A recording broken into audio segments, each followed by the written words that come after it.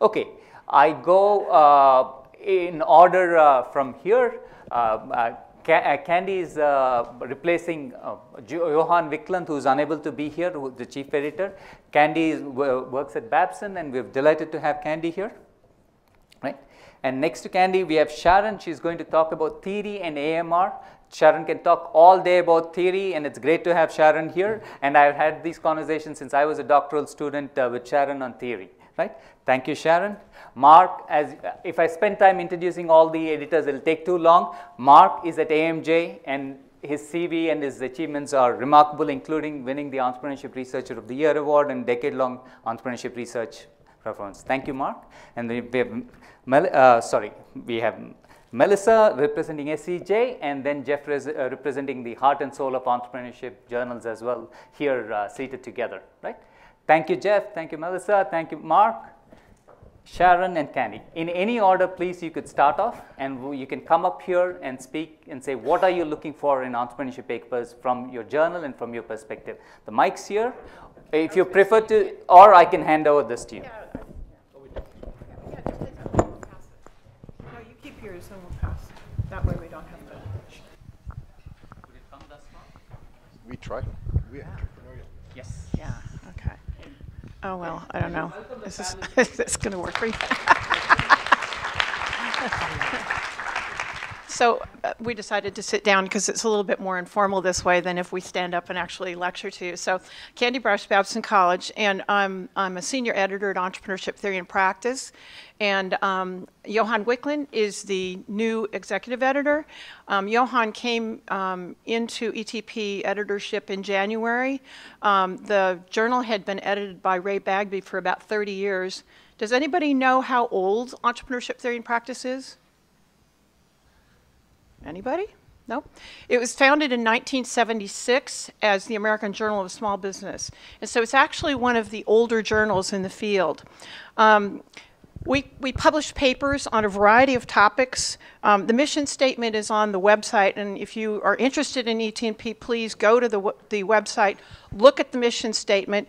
Um, we publish papers on everything from small business to entrepreneurial opportunity to entrepreneurial orientation. There are a whole list of different topics. You can sort of see what it looks like.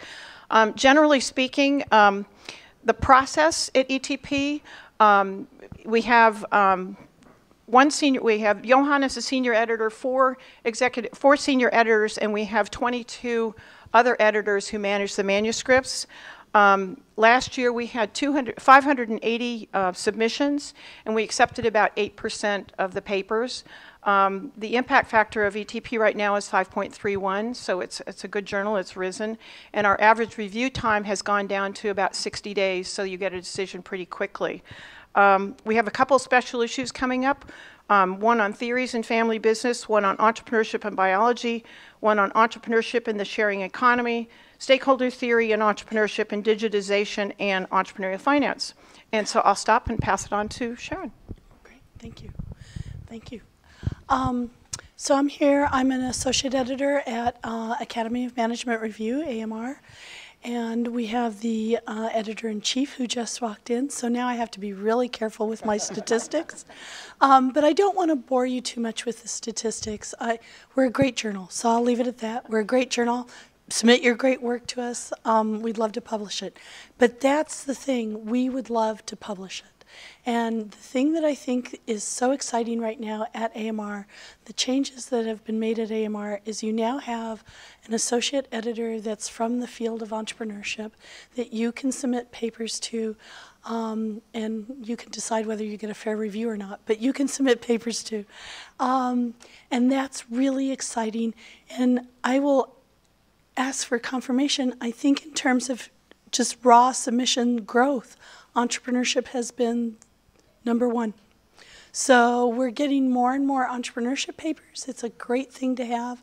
We just had a special issue, uh, special theory issue, which just um, got through closing. In fact, I probably let the last scraggler in today. Um, but again, it was on uncertainty, which I think absolutely has an entrepreneurial sort of flavor to it, if you will, uh, influence. And um, either number one or number two, I think, in terms of, of total submissions to a special issue in AMR's history. So I'm being kind of Trump-like right now, but that's okay. Um, so, so the good news is AMR is open for business. It's open for business for entrepreneurship. We love to see your papers. Um, don't send me crappy papers, please, oh, please, oh, please. Um, so we have like a 27% desk reject at the editor's level and at the chief editor. And um, at the associate editor, we have another 10% rejection. I really want to publish entrepreneurship papers, so that's why I tell you, please, oh, please, oh, please, see what's being published, understand how it's being published, understand what we're looking for. And there's different ways of thinking about this. You don't have to have, um, there's propositional types of theories, and there's theories that aren't propositional, and we're open for business on that as well. So thank you very much. Thank you, Sharon. There's lots of things to echo from AMJ side. Uh, we are the empiric empirical sister of AMR, uh, which means we are soliciting empirical papers, but they should have a strong theoretical contribution.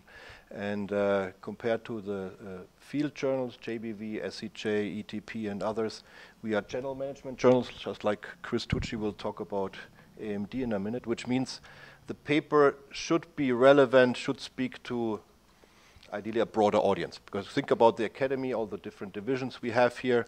Uh, when you want to publish an AMJ or any general management journal, it's, it's, it's good advice to frame your paper in a way that allows you to, to speak to multiple audiences. And I think that's one of the key differences among when you write a paper for one or the other outlet, meaning a specialist journal or a general management journal.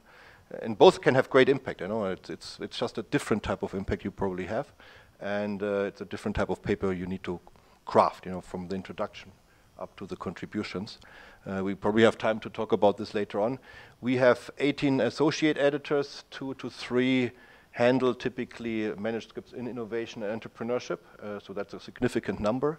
We had the previous editor was Gerry George, he was an entrepreneurship innovation scholar, so he left definitely his mark in on the on the journal. Um, I'm serving as a deputy editor there. We have two deputy editors, so so entrepreneurship in that sense is since a longer time represented in the, in the leadership of the journal, which also is reflected, obviously, then in the, the types of papers we get, because people say, well, that's an entrepreneurship scholar who's, who's on that board, or several ones. Uh, they can competently judge my work. So I really want to encourage you to send your best work, if it's empirical, and you want to publish in a general management journal, to us. And with that, I hand over to Chris. Thank you very much. I'm a little hiding here behind the podium. Maybe I'll stand up. Um, uh, I, am Chris Tucci. Uh, I'm at EPFL in Lausanne, Switzerland, along with Mark here. Um, and I am here to tell you about a little bit about Academy of Management Discoveries. I apologize. I've, um, the scheduling system quadruple booked me for this session. so I actually am running around like a little ping pong ball from place to place. I'll, I'll, have to leave as soon as I make my pitch. But let me make my pitch. Let me just say that, um, you know, it's, it's very difficult in the management area in general to publish phenomenological research. So studying a phenomenon, which I think is very important in entrepreneurship. On the other hand, it's not so easy to convince people that you're making a theoretical contribution when you're studying something new. And I can give you the own, my own example of, uh, i was very, I still am, very interested in corporate venture capital. And uh, I, you know, have all these papers, collected all this data on corporate venture capital, and trying to understand different aspects of it. What are the benefits to the to the recipient, et cetera, et cetera. And I got, you know, many, many rejections, basically saying that's a prominent partner. We already know, so we don't care. All we know is that a startup has a prominent partner. It's good for them. So case closed.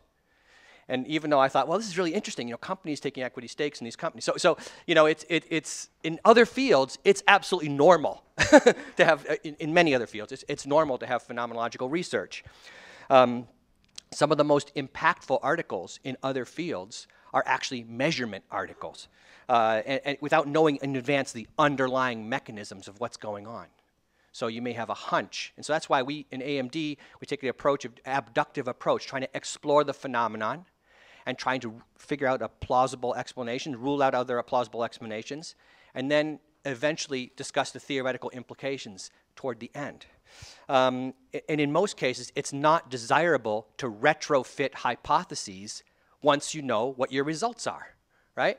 And, and so in, in, in, uh, in some cases, people will collect data, they're interested in the topic, and then, you know, certain people will actually then, okay, let's see, what kind of hypotheses can I generate that will be consistent with this? Worse, sometimes the referees will say, hey, I've got a better theory for you that fits your, your results much better, you know?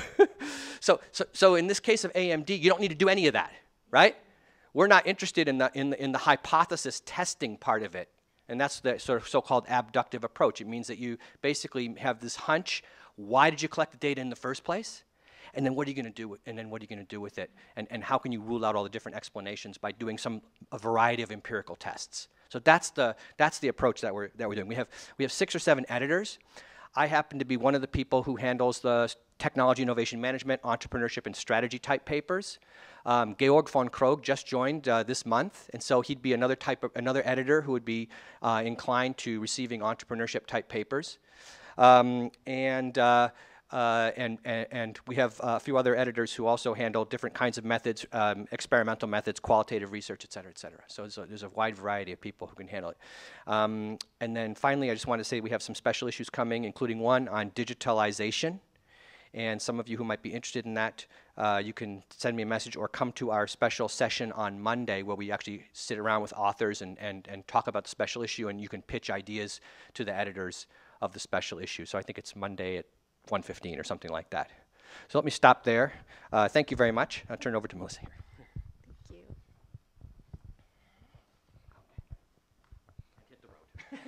you. uh, so hello.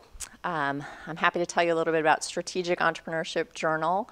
So Academy of Management Discoveries, which um, Chris was introducing to you, I think is the, the youngest and newest journal represented in our panel here, and SEJ would be the second um, youngest. It's been around for about 10 years. Um, SEJ is a journal of the Strategic Management Society, so it's kind of a sibling journal of SMJ and uh, GSJ. And the way that we're structured, we have three co-editors instead of uh, a single editor-in-chief or executive editor. So it's myself, Gary Dushnitsky, and Chris Zott are the three co-editors. Uh, and then we have a great group of associate editors. Um, in the last year and a half or so, we've added a bunch, um, which are names that are probably familiar to you. Ben Campbell, Yong Lee, Dan Elfenbein, Isin Guler, Anu Wadhwa, and Peter Klein. Um, Peter Klein uh, is not only a wonderful AE, but also one of his papers won our uh, Best Paper Award, which will be um, presented at the SMS conference in Paris, if any of you are going to that. So our mission is to publish excellent work um, at the intersection of strategy and entrepreneurship. Uh, and I would say we define that fairly broadly. If you have good work that relates to entrepreneurship, we'd love to see it. Um, some of our accomplishments in recent years that we're excited about as a, a newer journal. Um, SEJ was added to the FT50 recently, um, which is, is great for visibility. We get about 300 submissions a year, or at least in the last year, and that's been tracking up every year. The acceptance rate's about six or seven percent. Um, there's different ways to calculate that, um, but it, it's somewhere around there. Um, we have special issues coming up on history in the study of entrepreneurship, on entrepreneurship in emerging economies, and one on meta-analyses. And so those two calls are, are still up. We have one that will be coming out that's sort of going through the review process right now on organizational design and entrepreneurship, which is, is really interesting. I want to put in finally a special pitch. Does anyone do qualitative research in this room? All right. So although I am a co-editor, and most of our manuscripts we um, send to the associate editors after an initial screen, but as a qualitative researcher myself, I am acting as associate editor for, at this point, almost all of the qualitative manuscripts um, that we get because we really see that as an area that is, is so important in entrepreneurship research and we're trying to um, get great reviewers and really take a developmental um, approach to qualitative work. So I hope you'll consider SEJ for your great case study uh, or interview-based research.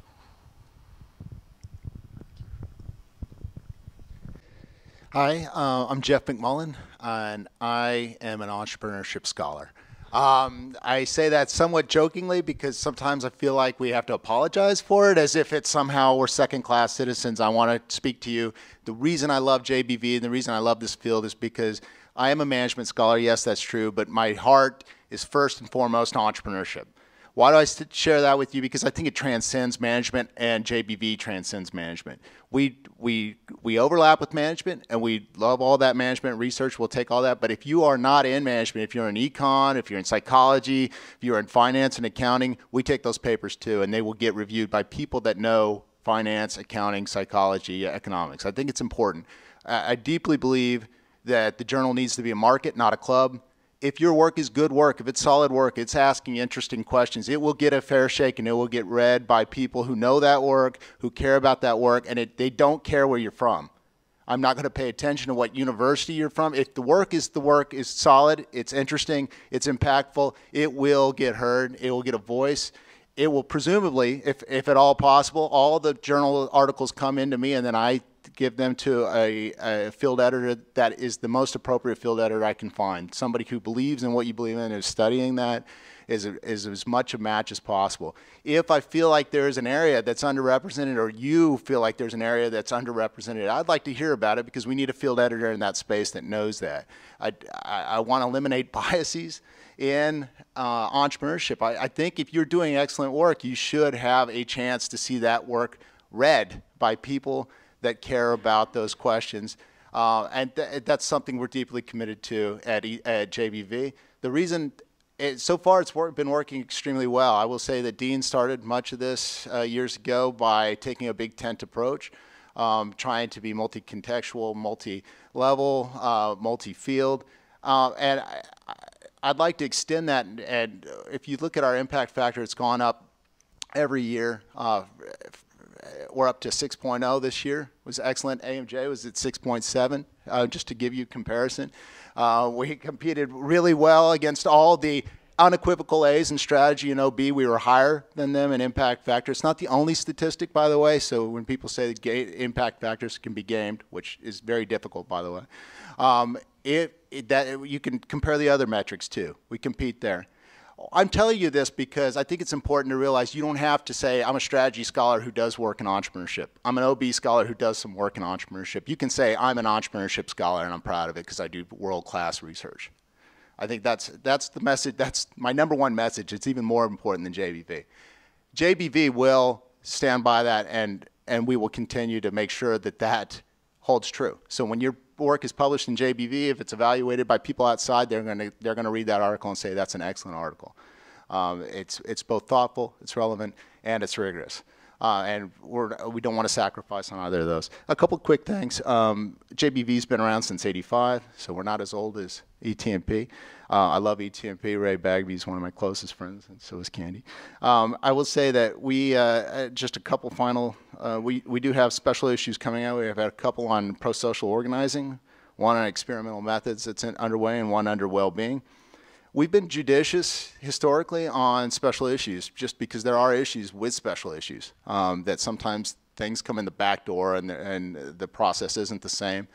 Uh, I'm open to proposals from you all. If you have a really interesting proposal that you feel like could create a toehold or, or um, give leadership to a movement that's already out there and you would like to submit that, we give a proposal the same kind of review that you would give an article. Largely, it goes to like three field editors. They give feedback to me, and then I write up a letter to that extent.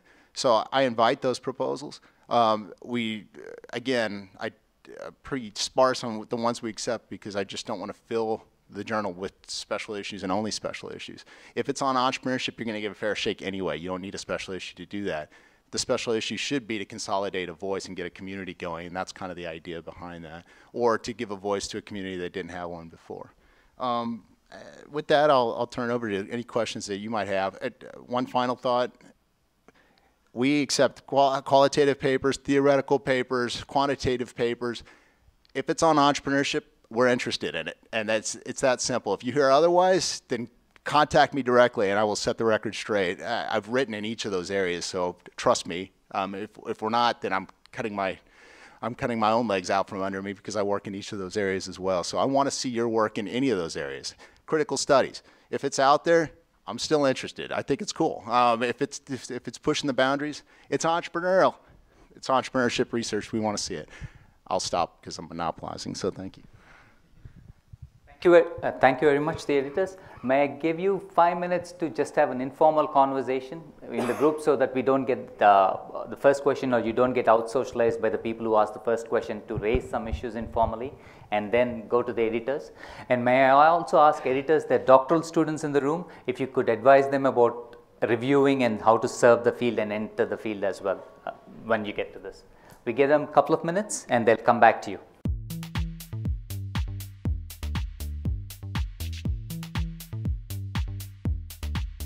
Hi, uh, we had a question at our table uh, about AMJ and the uh, comment that AMJ articles should speak to multiple audiences.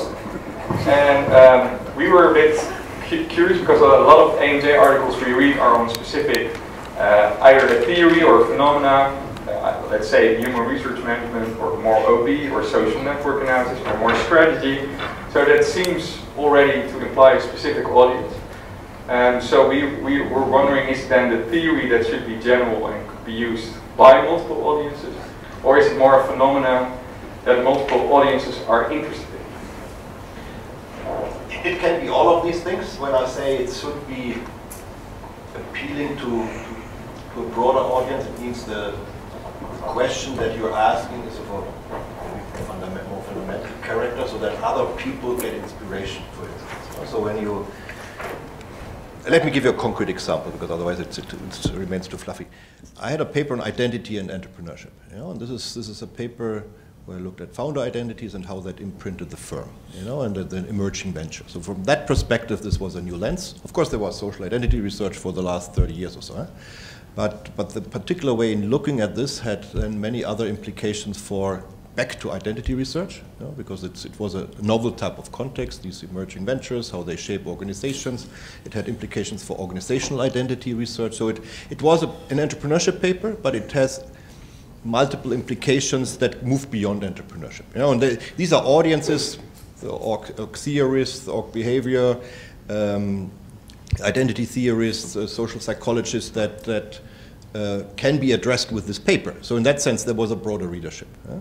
Um, let me make another comment with uh, regarding this, because oftentimes what I see as an editor is we get papers where the framing is too narrow, while the scholar could have framed it more broadly.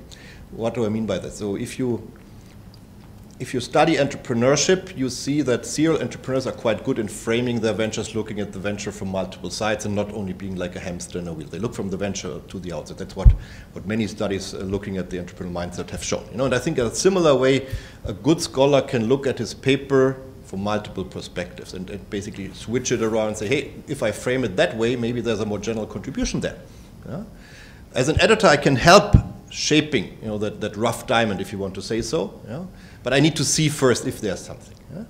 Uh, I can help you shaping the paper to become more broader. Yeah? But, but I would like to see an attempt that, that, that there is something in there that can be more broader because oftentimes, you know, if, if the diamond is too, too much buried into the soil, I, you know, I don't have too much digging equipment to, to get this out. I've also limited time. No, but, but, but that means, you know, I think for, for many entrepreneurship papers, you can apply this logic to say, maybe there's something more general, maybe I can look at it from a different angle, maybe I can use this as a context. Oftentimes, uh, entrepreneurship is a great context to study things that are not studyable in, in, in large organizations. So give me another example. I did a lot of research on opportunity identification. This is something where in an entrepreneurial setting you have three, four people, you know, can measure their prior knowledge, you can understand what they identified, etc. Yeah? If you would study the same phenomenon in a large organization, this would be quite different because there are 30 people in a department, they talk to another 50 people, and suddenly this is extremely messy. Yeah? So even if we want to inform more general management research, I think entrepreneurship provides a nice setting. Yeah? But that means also as well that you need to understand your, your paper probably in a, in a different way. And that's where, where I think it's, it's actually a beautiful process to be able to shape and turn your paper as you want, because that means you really understand your topic. Okay, thanks.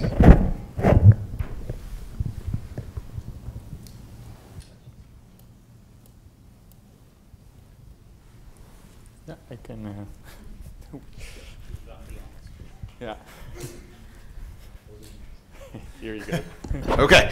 Um, I, I mean, sort of any of you, you all could, could answer this, but I'm curious, um, when, you're making the decision as the editor, given that no paper is perfect and, and uh, sort of the best cases R and R, minus, I think Kathy Eisenhardt said one of her 89 papers was accepted in first round. But other than that, and I'm not Kathy Eisenhardt, um, what, what in, in a paper really makes you think, I'm willing to give the the writers of of this um, more opportunity. I mean, sometimes it's like, okay, uh, yes, we're AMJ and we want theory, but I like the back end and so extend the th theory. Or sometimes uh, your theory's right, but you need to work on the empirics. What uh, what really calls to you when you're making that decision to give the the writers the latitude to get a revision? So I, I think it depends a little bit also whether you're more of a general management theory or more of the um, entrepreneurship specific um, specific areas. But you know, when I look at a paper and I've overridden my reviewers, um, but I look to see is this interesting? Is this something novel? Is this something that I didn't know before I read this paper? Did it make me go, aha, right? And um, and and and I look for that first, and then I I agree with Mark. And again, AMR has a very similar, right? We're a general management journal, so you have to do something or tell me something that takes what you've learned from this particular aha that now translates back into the broader literature somehow. Um, I also look for under theorized areas. Again, some of that might be a function of being entrepreneurship, and not that if I get whatever because it's an under theorized area, I'm, I'm willing to, to say yes. But I'm actually willing to maybe go a little extra mile to try and help develop that if I can. Um, but again, there has to be something really interesting. So just because it's under theorized doesn't, right? It has to be something that makes me sit back and say, you know, I didn't think about this before I read this paper. And the paper could be rough. And I've got one of those, by the way, right now. That's, that's I told the author to sort of get out of his or her way. Um, but their core premise changed the way I thought about things. So. And so I'll repeat, Sharon, um, something interesting. In other words, what is an interesting question? But besides that, um, because ETP publishes both um, empirical and theoretical papers, we look for novel insights into theory and novel data sets that might shed light on some new phenomenon or might be of interest for exploration.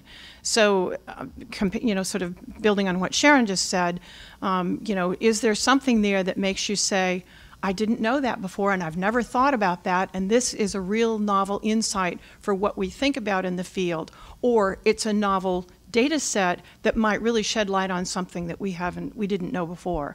So the Murray Davis that's interesting is something that I'll repeat and I'm sure Mark and everybody on the panel will probably say that as well. So I'll pass that to Mark.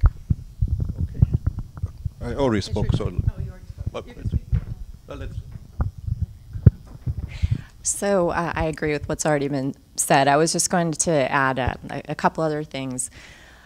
Um, so when you're an editor and you're trying to decide whether to give a paper an R&R, whether it's at the first stage or even if it's you know already a revision and you're trying to decide on a second R&R, you think about the the cost of doing that to um, the reviewers and especially to the authors. So there's an assessment of, okay, if the authors go back and put a lot of work into this and I ask the reviewers to look at it again, um, what's the probability that this is going to amount to something.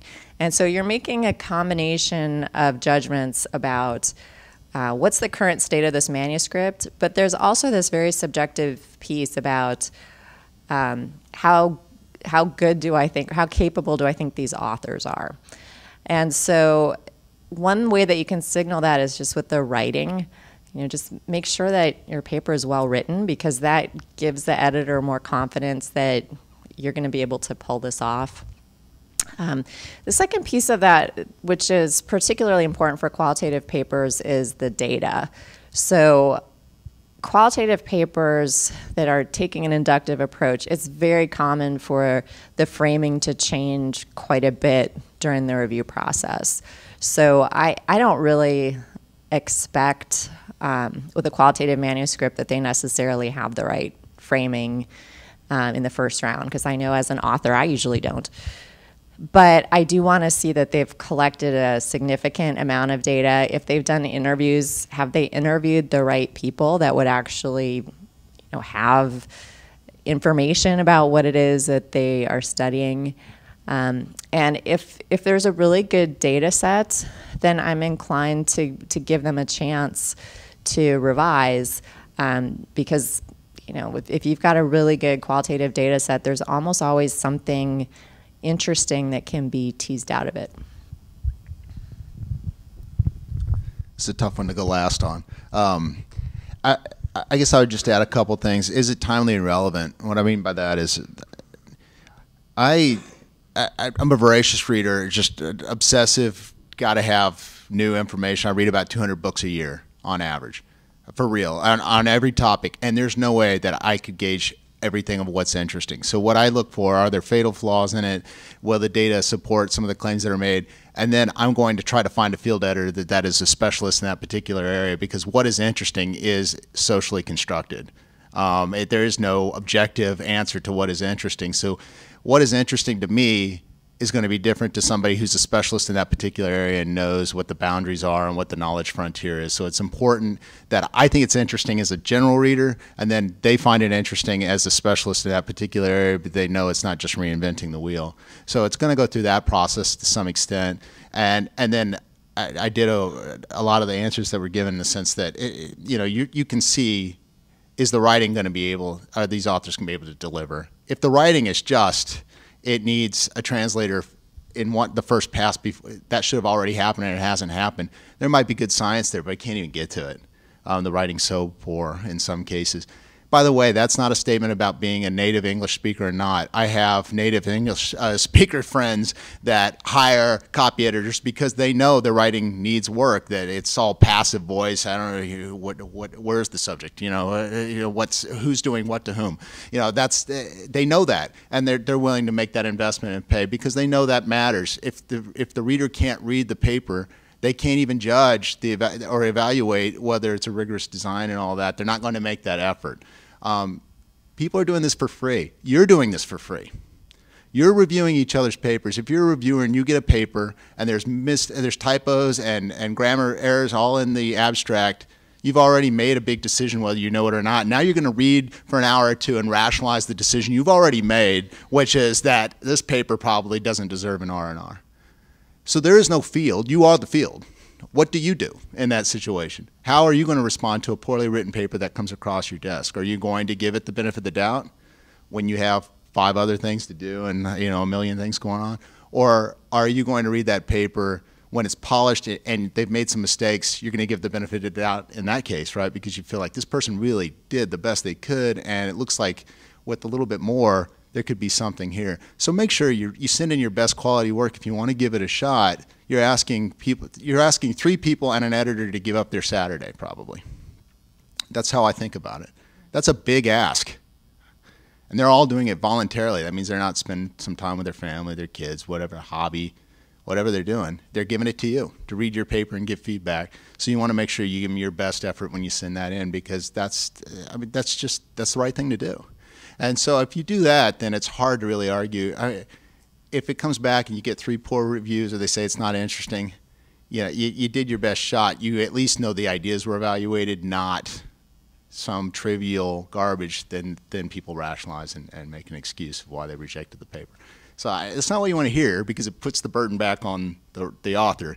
But ultimately, the, author, the burden's always mine. It always comes back to me as the author, right? If I don't make it clear, even if they didn't get it, it's still my fault as the author um, in the end. And it's just a it's an accountability check that it's painful, but it's it's the nature of what we do.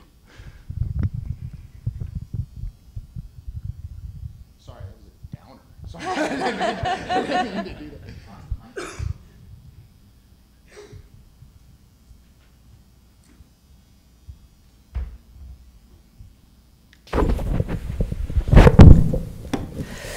Yeah, maybe this is a more general question, really. So, so what in terms of you know because um, before uh, Howard Aldrich said you know you should always aim high, you know start at the top, etc. And what it so then you know you give you've given it your best shot and you get reviews and you know they or I don't know they kill your paper or whatever. So so and then uh, what do you do with those reviews if it's rejected, right? So if it's an R and R, you're going to try and solve everything, but if it's um, but if it's a reject to a journal, do you still, what would be your recommendation? Like, do you try to solve these issues nevertheless? Do you, or do you think, okay, I'm gonna, you know, so if there's some obvious flaws pointed out, of course you're gonna deal with them, but how much time would you spend on the paper before you then go and give it another shot, basically? So I'm going to give a short answer to this, and then I'll, I'll pass it on to others. But um, I have come to believe that there are times when a rejection is a blessing, it's a gift. And the reason is if you have reviewers that just don't get what you're doing and want you to take the paper in a different direction, then I would rather know that and have the paper be rejected. We have, you know, multiple good journals. And then you have the opportunity to look at the feedback and you have to give it a fair shake. You have to say, okay, you know, they were right about this and I can fix that. But you can also say, they were wrong about this or it's not the audience I want to speak to. And you know, I'm not going to do that particular piece. If you get an R&R, you kind of have to deal with all of it. So nobody likes to get a rejection, but you know, when that happens, I think you, you need to try and see the silver lining, which is I don't have to do everything that they're suggesting, which is kind of liberating. There's an ad additional aspect to this, which is the fit with the journal. You know, some papers we get uh, don't just don't fit the journal very well. You know, because the conversation happens elsewhere. It might be too narrow. It might be too too less theoretical for AMJ. You know, but it would would fit elsewhere. So in that sense, you know, it's it's it's in a way the author's task before he or she submits or before that team submits to to actually figure out if that journal presents a good fit. And and in order to do this you engage with the journal you read the journal. Often it's a good indication if the conversation that you want to join is, is happening at that journal. So you look at the types of papers you're citing and if there's uh, only AMJ papers then that's a strong signal that there's the conversation uh, if it's no AMJ paper in my case, you know, then you might say, oh, maybe it's not happening there. You know, maybe that is there's a reason why this conversation is not happening there. You know? So in that sense, um, make sure that you also know the your target journals. You know, if uh, the types of flavors, the types of, of ways they write, uh, the, these papers are written, etc. You know? So, I actually want to piggyback a little bit on something Jeff said earlier, and and a little bit of what Mark is saying. The reason it is so important for the Academy journals to have reviewers and to have an editorial board that reflects who you are is because if you're at any kind of a decent school, I shouldn't say it that way. If you're at a research, if you're at a, at a research intensive school and you want to make tenure, you probably have to have at least one of those publications. And so, to echo what Jeff said, you want to make sure that there are people on that editorial team, that there are people on that editorial review board who are in a position to fairly evaluate your work because Jeff's right. Things are socially constructed. And and so you, you want to make sure you have that. Now, if you do that, if you make sure that that's where you want to go and that you're actually getting a fair shake and you get rejected. And by the way, rejection, um, I've heard Jay say this numerous times rejection is certain, publication is rare, right? So chances are you're going to get rejected, especially if you come to AMJ or AMR, right? I mean, the rejection rates are high. But what you hope is that you get really good quality, insightful reviews. And you take those reviews and you look at them. Some people are better at, at taking things and not taking them personal. Some people have to put them away for a while. Um, but you look at the reviews and you say, okay, here's what I can fix. Here's what I don't want to fix. Here's what I want to hold on to. And here's what I can't fix.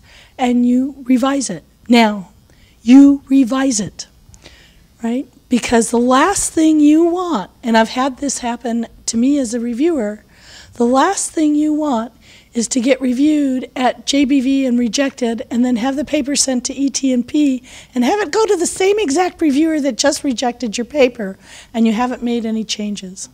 That really makes me mad, right? As a reviewer, that makes me really angry. And so how likely are, do you think I am to say, this is a great paper, maybe we should give it an R&R to the editor? Zero. So change it, make the changes, look to see, you know, the reviewers, and maybe it's you just have to clarify things, but make the changes, make some changes at least. Yeah, I was going to mention the same thing, but I'll, I'll say something different because Sharon just said it. Um, one thing uh, tactically is that when you get the feedback, um, again, read it, get angry, put it in a drawer, write all the comments that you want to back just to get it out of your system, and then come back and reread the reviews and really think about what they, what they're saying. Um, the the editor's comments are going to frame what the reviews, you know, sort of the the whole story of the paper, and they'll usually let you know that there's a serious problem that you really need to fix this. It's the theory, it's the data set, whatever it is, or fit, as um, as was mentioned, because fit's very important.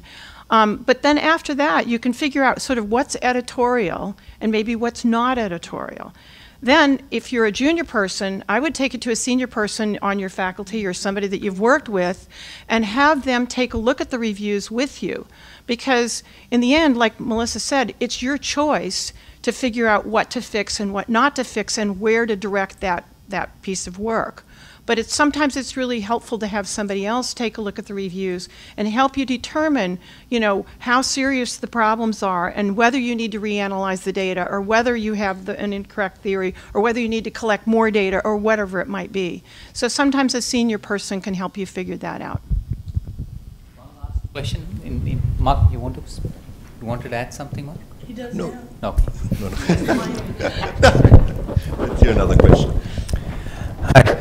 Um, as a PhD student, for example, at our university, we, we have the choice of uh, going for a compilation thesis where you have to write papers. Um, my question is how much bargaining power as a PhD student you have over the, uh, the pathway you take in your papers. For example, um, your four papers or five papers have to make sense together, they have to speak to each other. And if the reviewers want to take you in a different direction, that is totally not uh, syncing with your PhD. How, how do you go about this and how, how much bargaining power you have with the editors or with the reviewers to, um, to try to pull them back to the direction you're taking, uh, which works well with your PhD. Thank you. I can give it a shot. Um, no, I, I think the question needs to be rephrased. How much bargaining power do you have you with your PhD commission?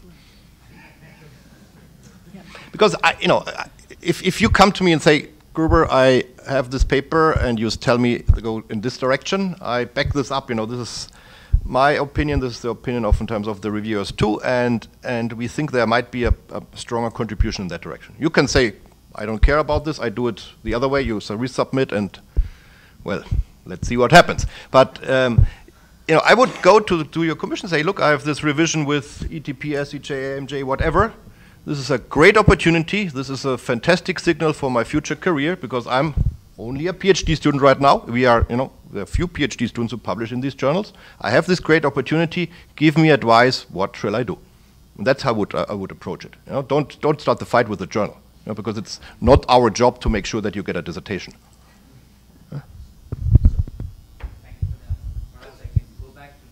Both doctoral students yes. and how they can come into the system as reviewers and how they can serve among the various journals and how they should go about the reviewing really quickly and then we can end the session.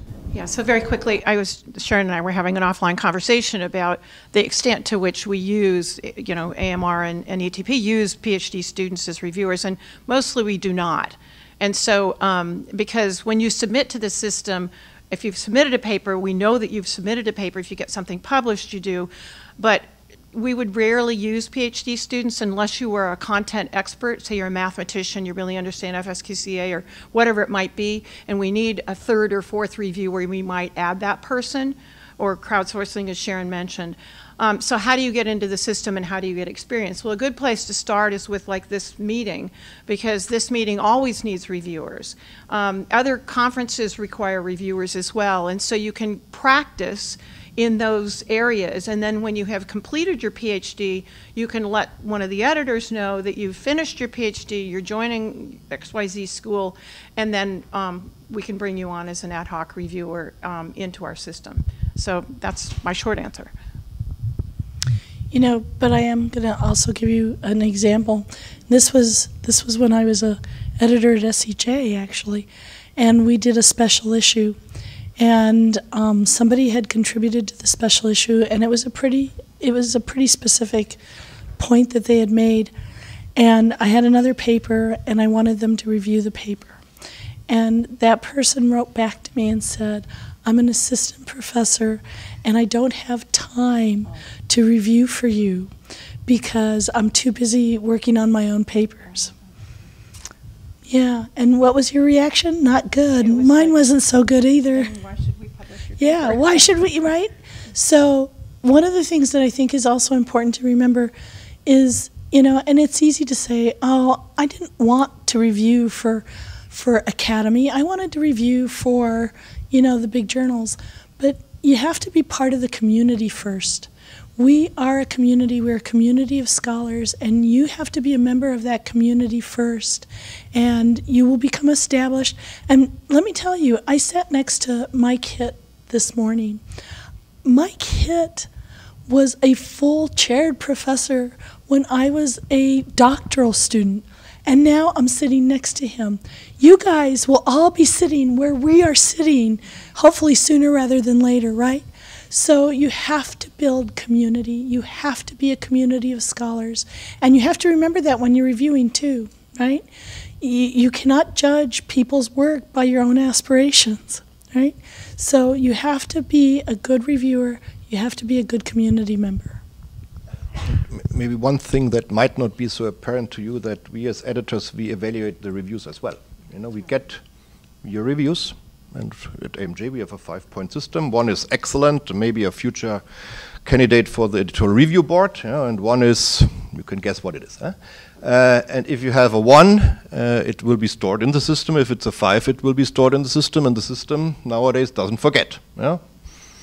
So if you have aspirations, you know, to become a reviewer, to join the editorial review boards, it pays off to spend time on the reviews, do constructive, positive reviews, you know, there's different types of languages you can use. I tend to see if, in case, I, I rarely send out to PhD students, but if, uh, if I do, I, I send to those where I have some uh, feeling, understanding that they are positive, because PhD students tend to be a bit harsh sometimes. Yeah?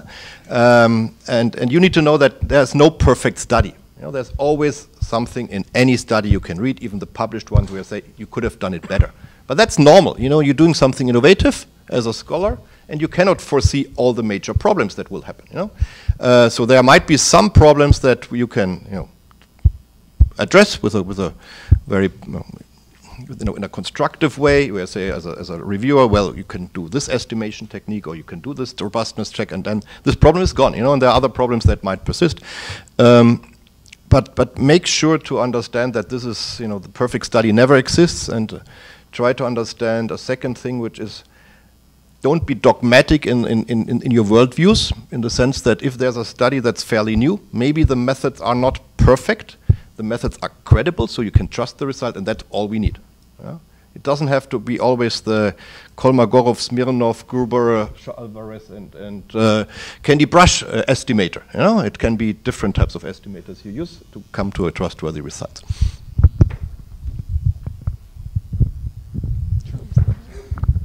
I just have one small thing. A, a, really great review does more than just say what's wrong with the paper. Um, anybody can do that. As Sam Rayburn, the, the old House the speaker from, from, Texas, used to say, any jackass can knock down a barn. It takes a carpenter to build one. So, I mean, it's easy to say what's wrong with a paper. A, a, truly great review actually does that and then stops and says, what would I do? What, what could I suggest to fix the paper? And when you read those, you're like, oh, now this somebody took some time. They wrote a good review. I mean, they really, uh, because that's hard. I mean, it, that it requires sitting down and thinking about their paper, actually putting yourself in the shoes of the author, going and being empathic enough to do that and go, can this be salvaged? What could be done? And not to be commanding a course. If, you can do it, like if you could actually come up with two things and go, I, I mean, these are just suggestions, you know, and frame it that way, then then it becomes clear that you're not telling the person what paper to write. You're just thinking, here's some possible ways that this could be salvaged. That's a great review. So if you can do that, I, I know it takes more time, it's more effort. Don't worry, you're not giving up your research ideas. I, you know, people know in time that it's not as there's there's not the curtain that you would think. I mean, uh, give, giving people the community knows in time that you're a giver. If, if you're somebody who gives ideas, helps people, nurtures that, it gets out. Um, so it, it's not just given. You're not just being exploited or used. And so, so it, you're not going to give away your precious idea. If you only have one idea, by the way, you need a new career. Um, you know, I mean, hopefully you can come up with more than one idea in this business. So try to be generous like that and it, it, will come back around. You'll you'll you'll actually stimulate your own research because it'll force you to actually think things through that you hadn't thought of before because that wasn't really your stream of thought. You picked up somebody else's stream of thought tried the hat on saw if you could extend it a little bit and you thought about something in a different way than you probably would have ever thought about it before. So i look at it like that. It makes reviewing a lot more fun too because then it becomes a creative act not just an absolutely critical act which is draining and exhausting and tiring. Um, but you you get that part done, and then you have some fun with. You're like, here's what here's what could really be interesting if if you're able to do it. If you have the data, if you have the theory, whatever. If you have the time, the interest. Last words. Last words. Um, so. Uh, I, I, think a lot of great points have been made. I would just add, for those of you that are doctoral students, um, so number one, I, I wouldn't rush into reviewing because it actually, you know, does take a lot of time, and it's not such a bad thing to wait until you, you know, have a job. To, you know, you can certainly review for the academy. Um, but once you're sort of you know either a very senior doctoral student or assistant professor talk to your advisor and say hey I, am interested in doing some reviewing because senior people in the field and i'm sure everyone on this panel um, has been asked to do many, many reviews, and you do get to a point where you're on a bunch of editorial boards, maybe you're an associate editor, and you get more requests than you can feasibly do. And so that's the point where I would think, oh, I'm getting, a, someone's asking me to review this paper. I happen to know my doctoral student is studying this topic and is, you know, an expert on the state of the art.